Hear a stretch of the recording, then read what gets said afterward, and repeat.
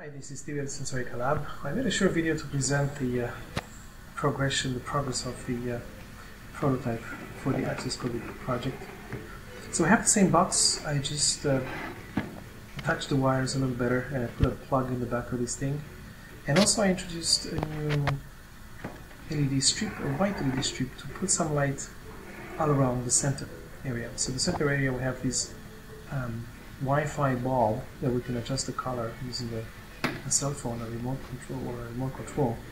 And then I thought that the surrounding area was too dark when we let the light in the middle, so now I put some white LED strip out. Just the camera is adjusting to the intensity, uh, but I'll take some uh, some pictures with the colors to see how it looks. So this is when uh, the light in the center is at the full, uh, the maximum, and also you have light all around uh, the center, the core. Uh, this is the center with no light and the white LED strip all around. And now I'm going to change the color to red just to see how it looks. Now you see the color doesn't bleed anymore because I put some um, aluminum foil so it doesn't leak into the surrounding area, stays in the, uh, in the center.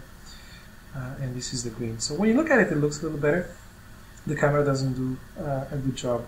But anyway, this is the progress now, and um, stay tuned for more of these prototypes. Thanks.